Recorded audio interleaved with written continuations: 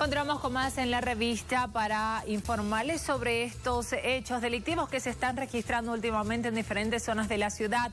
Entrevistábamos a la propietaria de una tienda de calzados que fue víctima de robo en tres ocasiones. Esta última vez sucedió el domingo por la noche, el lunes en la mañana es que ella se da cuenta que habían saqueado su negocio.